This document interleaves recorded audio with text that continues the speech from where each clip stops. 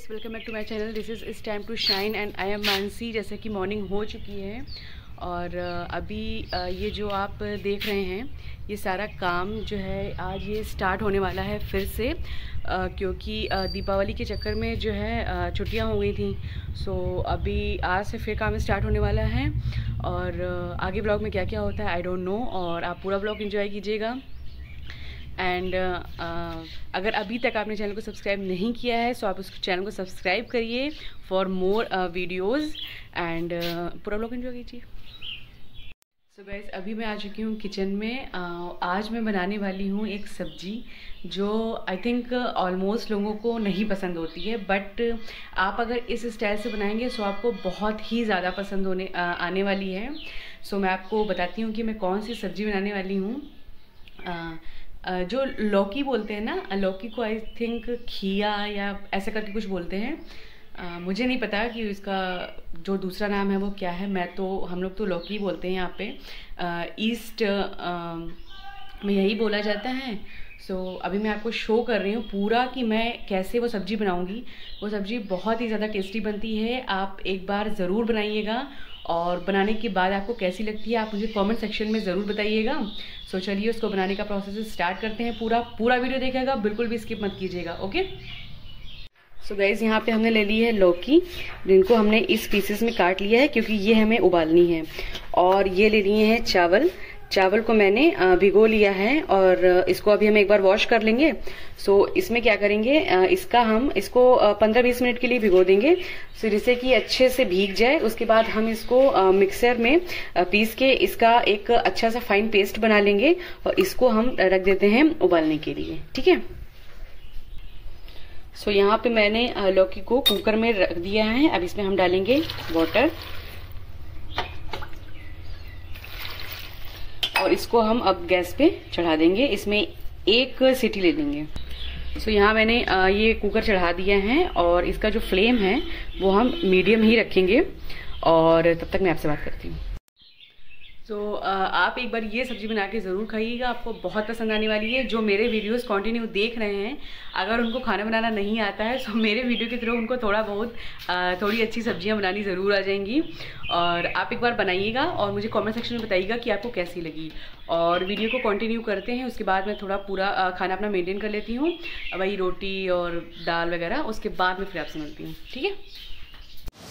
So guys यहाँ पे हमने लौकी ले ली है जो आ, उबाल ली है और ये देखिए यहाँ पे ये आ, पक भी गई है ठीक है? सो अभी ये बहुत गर्म है अब इसको हम ठंडा होने के लिए रख रहे हैं और ये ठंडी हो जाती है।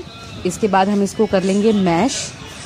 हाथ से ही कर लेंगे या फिर आपके पास कोई बर्तन वगैरह हो सो आप उससे भी कर सकते हैं। सो यहाँ पे ये देखिए बिल्कुल ठंडी हो गई है लौकी और यहाँ पे जो हम लोगों ने चावल का पेस्ट रखा था वो भी बिल्कुल फाइन पेस्ट यहाँ पे बन गया है। सो गईज़ यहाँ पे हम अब इस थाली में जो है, हम इस लौकी को ले लेंगे। और इसके बाद इसको हम हाथ से मैश कर लेंगे। जैसे कि मैं कर रही हूँ, आप बिल्कुल ऐसे ही कीजिएगा। इसको इस तरीके से मैश कर लेंगे।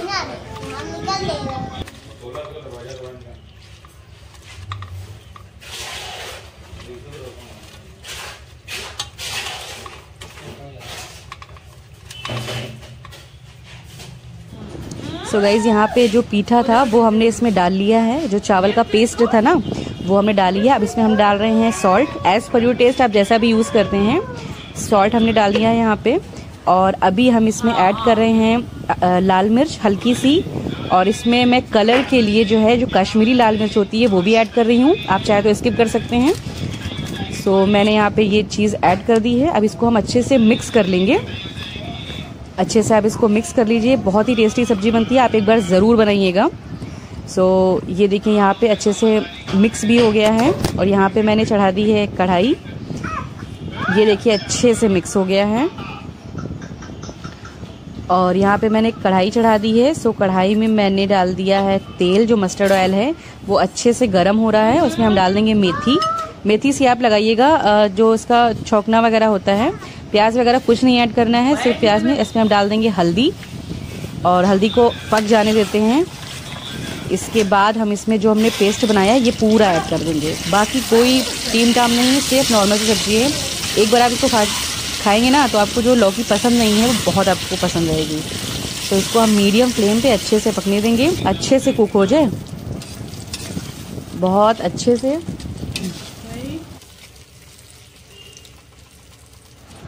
और यहाँ पे ये देखिए, ये कुक हो गई है बहुत अच्छे से। और इसके ऊपर इसमें हम डाल देंगे धनिया गार्निशिंग के लिए। और इसको थोड़ा सा और पकने देंगे। सो so, अभी यहाँ पे ये जो है ये लौकी की सब्ज़ी बनके तैयार है। आप इसको चाहें तो चाय के साथ भी इंजॉय कर सकते हैं या फिर आप पूरे खाने के साथ भी इसको एंजॉय कर सकते हैं। बहुत ही ज़्यादा यमी है। आप इसको एक बार ज़रूर बनाइएगा और मुझे कमेंट सेक्शन में बताइएगा कि आपको ये सब्ज़ी कैसी लगी। कोई भी ज़्यादा प्रोसेस नहीं है लेकिन हाँ खाने में बहुत टेस्टी है। मस्ट ट्राई सो गाइज़ अभी बन चुका है पूरा खाना और कल का जो प्लान एग्जीक्यूट नहीं हुआ था, आज हम लोग वो करने जा रहे हैं थोड़े सा कटिंग बालू की और उसके बाद जो मैंने रेसिपी आपके साथ शेयर की है, वो आप एक बार ज़रूर उसको बनाइएगा और ये आपको बहुत ही ज़्यादा टेस्टी लगेगी। इवन उसका जो टेक्सचर है ना, वो बहुत ही अच्छा भी है और कोई भी ज़्यादा मतलब लहसुन, प्याज वगैरह कुछ भी नहीं ऐड किया है, आप इसको एक बार ज़रूर ट्राई करिएगा। और अगर आपको ये वीडियो पसंद आता है तो आप उसको लाइक करिएगा। अगर अभी तक आपने चैनल को सब्सक्राइब ना किया हो तो चैनल को सब्सक्राइब भी कर सकते हैं। ओके? सो, चलिए चलते हैं और अभी सब फ्री भी हैं, सो, चलते हैं। और इनसे मिलिए विभू से। ये काम वाम करके बहुत थक गए हैं, सो आराम की मुद्रा में हैं आराम कर रहे हैं। हा?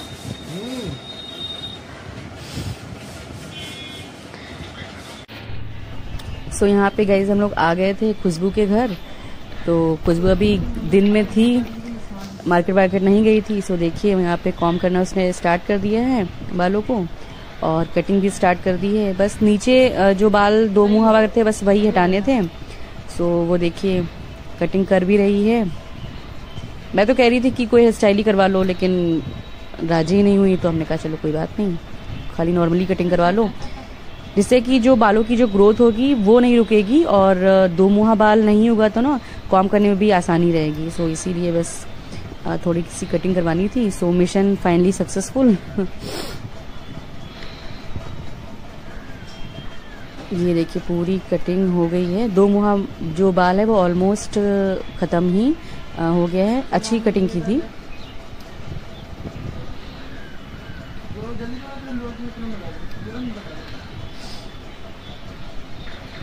मिनी बिल्कुल शांत मुद्रा में खड़ी है एकदम। सो so, मिनी आपको कैसा लग रहा है? आपकी हेयर कटिंग डन हो गई है? अच्छा।